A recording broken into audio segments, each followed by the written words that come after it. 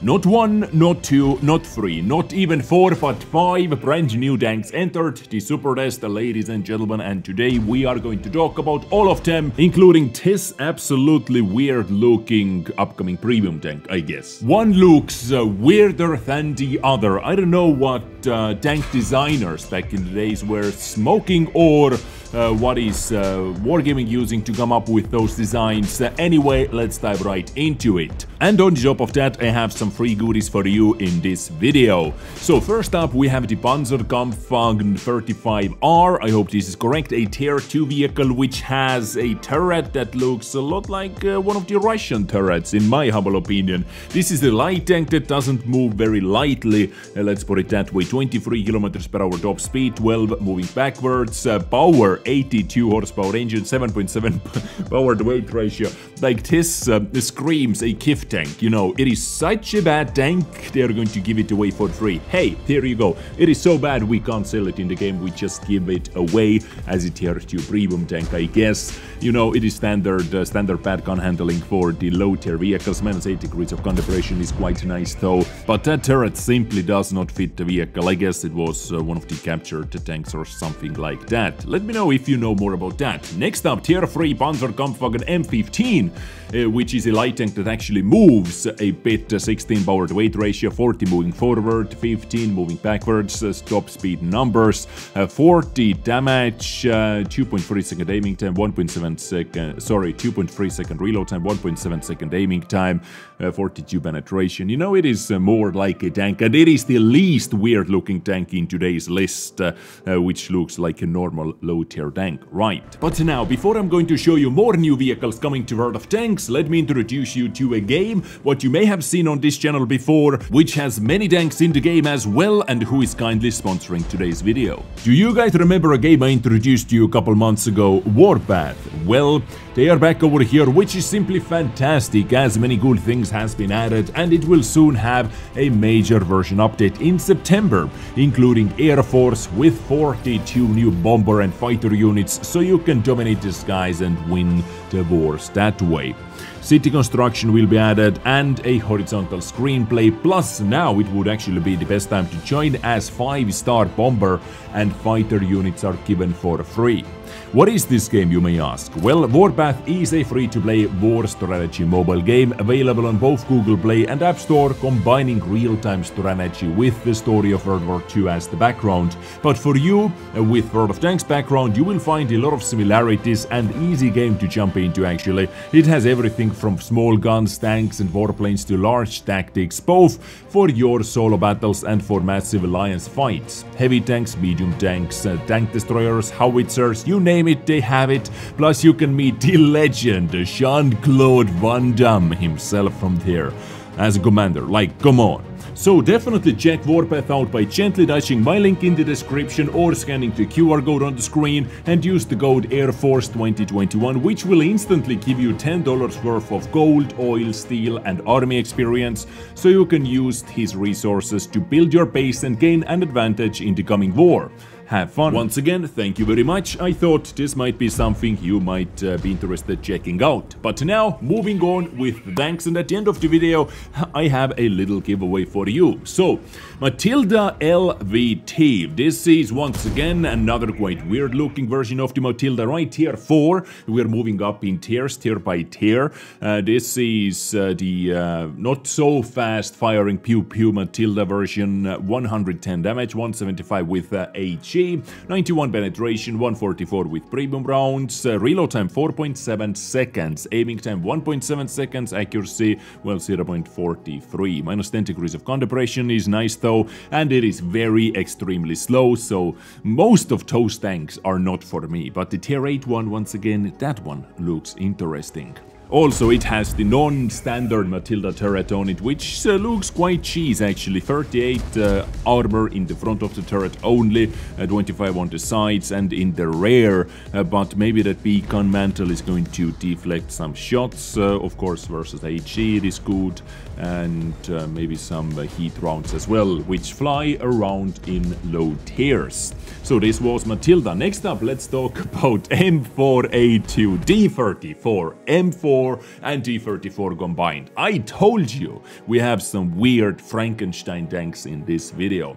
So this is a tier 5 medium tank coming to this game with 160 alpha damage, 280 with HE, 150 penetration, 196 with premium rounds. In tier 5 it is very good I would say so. Reload time 6 seconds, 2.7 second aiming time, 0.38 accuracy, gun handling is quite meh, and now the biggest caveat of course, 3.5 degrees of gun depression, which doesn't make any sense. You know, it has massive... Uh, um, it has massive potential for good gun depression, but hey, this is not how this tank was designed.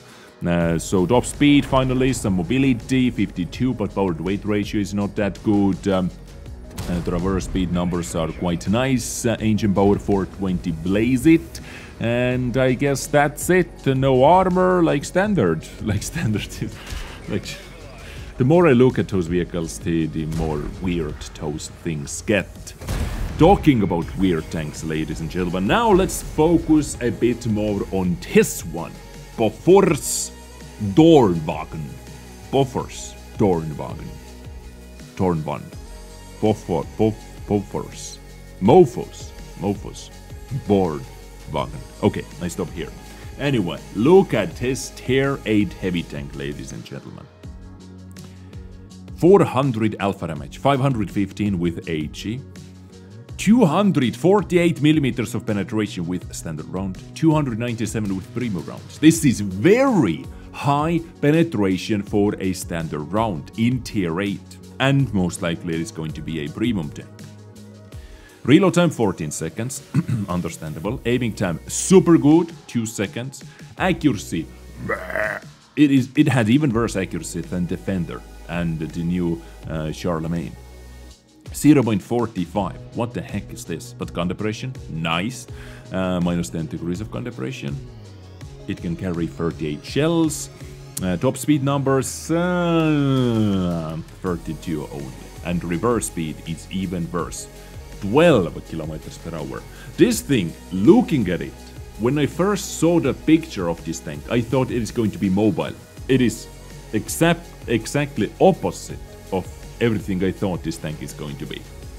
500 horsepower engine only, 11.6 power to weight ratio, so it doesn't have the good uh, uh, power to weight ratio to compensate the slow top speed like Charlemagne gets. Charlemagne actually accelerates very good, what you can see in the background as well, or what you saw in the background.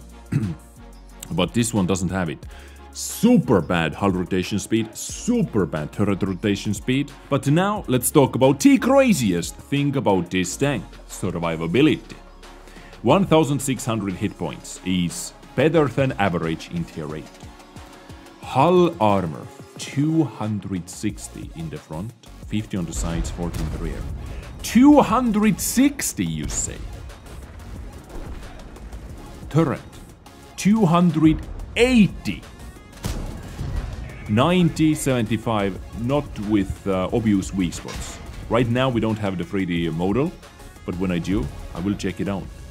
View range, extremely horrible. 360, so that means you basically have to use coated optics on this. 850 meters, who cares signal range?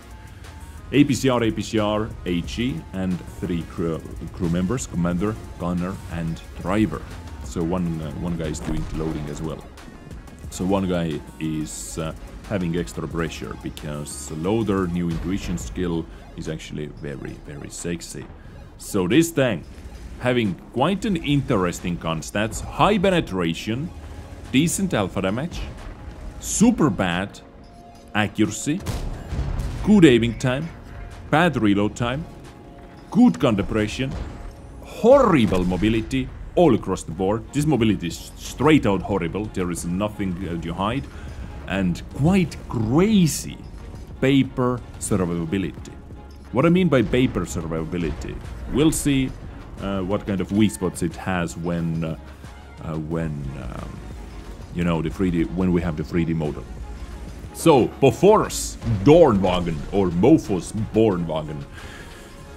I, I promise to stop. Um, This is quite crazy, ladies and gentlemen. Let me know what you think about that in the comment section down below. Let me know what you think about all of those things. Which tank seems to be the most interesting for you? Because this is also my today's video question. Do that, answer to that question together with your username, together with your server, and you have a chance to win a little piece from the 15,000 gold cake I have for you today. Thank you to our sponsors for making it possible. And um, yeah, I have not even announced the previous month winners and I'm already hosting new giveaways. I have Excel sheet literally for all the giveaways because uh, the amount of winners, the amount of stuff giving away, it is getting crazier and crazier and I freaking love it. I hope you do as well. If you do appreciate uh, my stuff over here, hit the like button, make me happy, make sponsors happy, and um, subscribe. Yeah, that's it. I get you next time with something else. Stay awesome, stay sexy, stay naked, take care, and bye.